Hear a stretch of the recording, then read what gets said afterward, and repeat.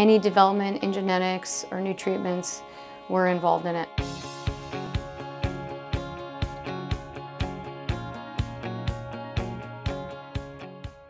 It's very important that you be at a center in which there is that strong connection with cutting edge research because, for example, in a center in which you're not having uh, genetic testing done on your tumor or a biopsy and the like, you might miss out on genetic information that can then help you as a patient enter into a clinical trial or be able to receive a new medicine once it's available that is targeted toward certain genetic changes in your tumor. So it's important that the center that you're at understand the latest and greatest in terms of genetic development.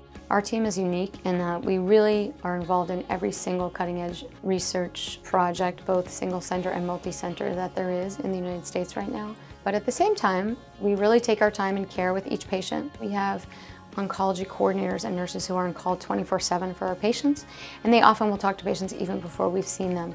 We work hard to get patients in right away when they have a concern or have been diagnosed with a fatal disease or an aggressive cancer.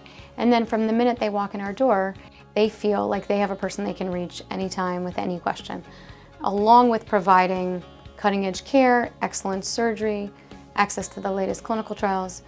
I think from start to finish, our patients get the absolute very best care anywhere in the United States here when they have eye cancer.